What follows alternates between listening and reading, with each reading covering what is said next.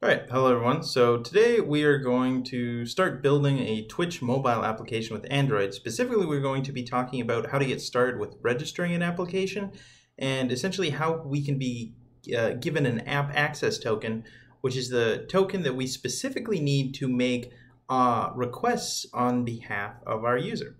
Right, so with that being said, I'll leave the link down in the description below, but essentially the first thing we need to go ahead is we need to register the application.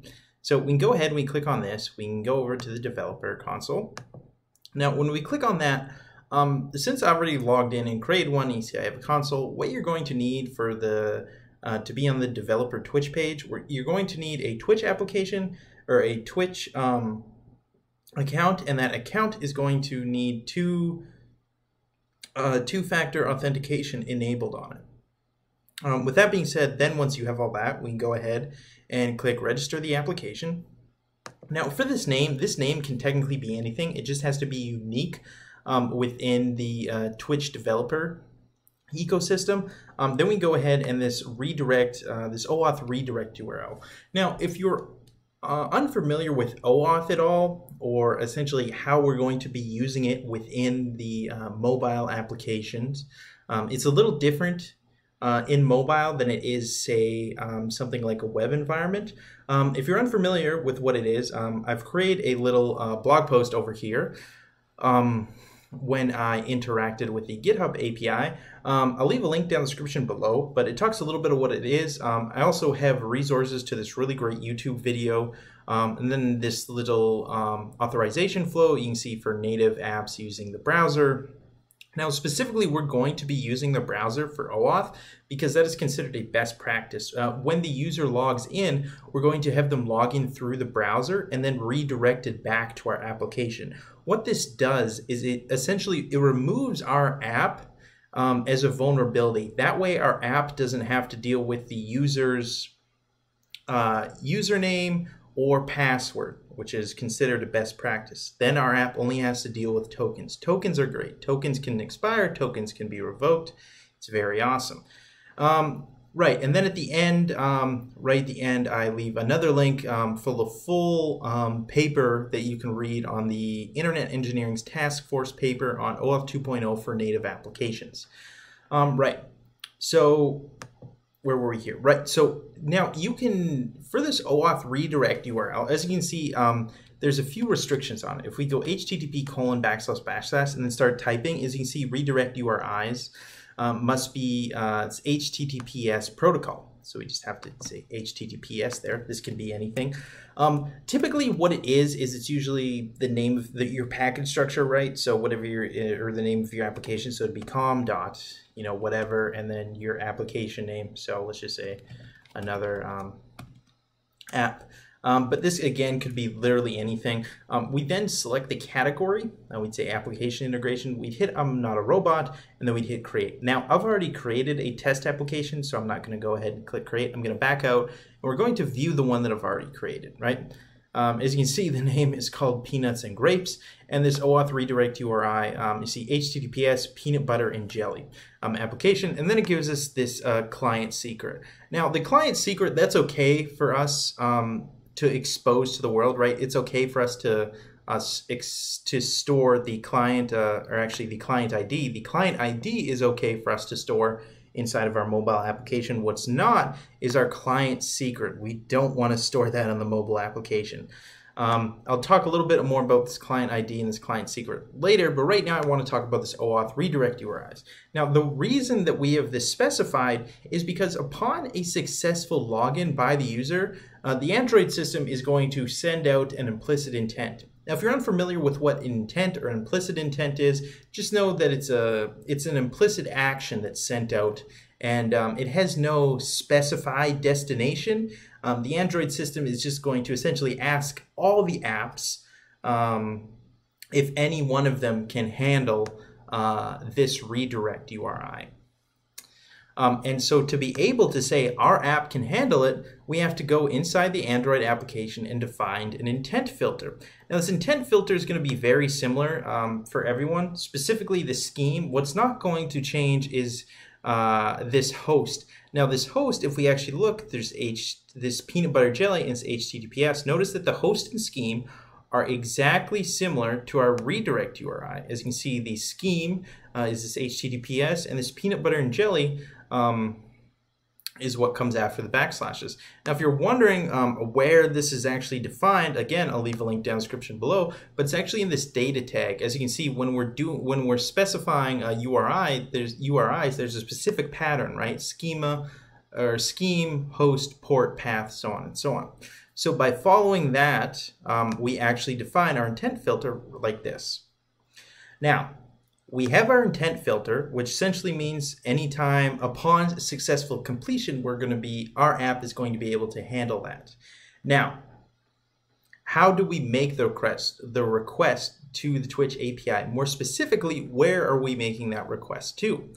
Now, we are making that request through um, what is called a um, implicit grant flow.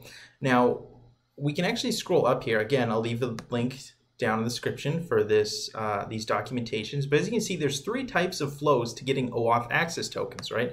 Remember, the access tokens are what allow us to make requests on behalf of the user. Now, there's implicit grant flow, there's authorization code, and there's client credentials.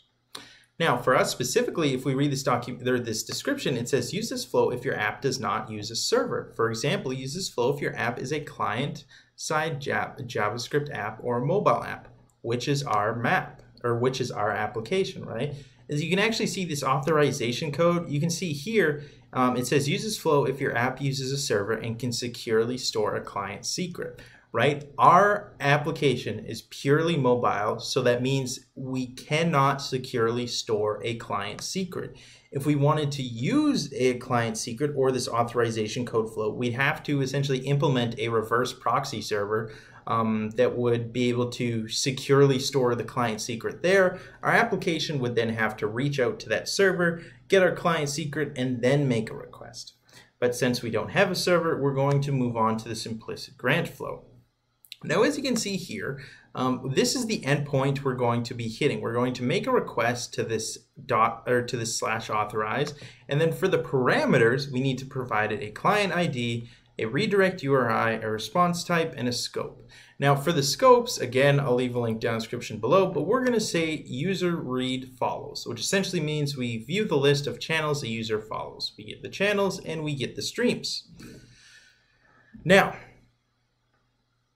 how do we make this request, right?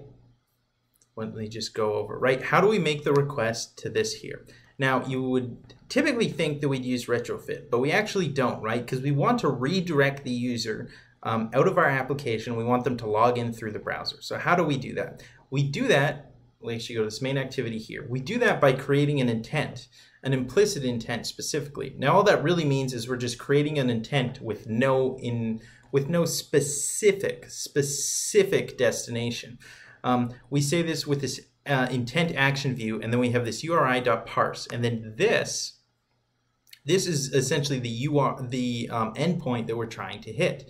We provide it with the client ID and the redirect URL or UR, URI, the response type, um, and the scope. Um, as you can see here, um, all you'd have to do really is just change uh, the client ID to your client ID and the redirect URI to your URI.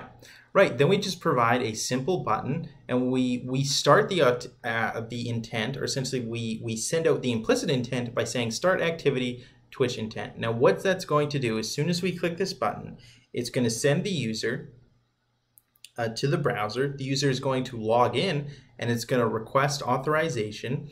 Um, and then once the user hits authorize, it's going to be uh, redirected to our application because we have the proper intent filter. Now you're going to know if you have this, if you have the intent filter set up correctly or not, specifically because once the user authorizes our application, if they are not redirected to our app, if instead the uh, the the redirect URI is just tried is just trying to be loaded in the browser, um, that means your intent filter isn't set up properly. Right, and then so upon a successful request, right, once our user is actually um, logged in, right, they'll be redirected. So then to be redirected, we can access that intent on the resume function. Now, upon successfully uh, redirecting, we're going to get uh, the data from uh, the data from that intent. It's going to look like this, right? It's going to have a redirect URI um, here, and it's going to have this access token. Now, this access token here is really what we're interested in. That's what we're going to use in the next tutorial to send out requests, um, essentially to get all the data about our user, right? Then, when, then it defines the scope and then just the token type. Right, um, this is just a short tutorial today hopefully it's able to uh, give you the confidence to move forward and build things with OAuth applications. Um, and I will see you in the next tutorial where we use that um, token to make even more requests. Thank you, and I will see you in the next one.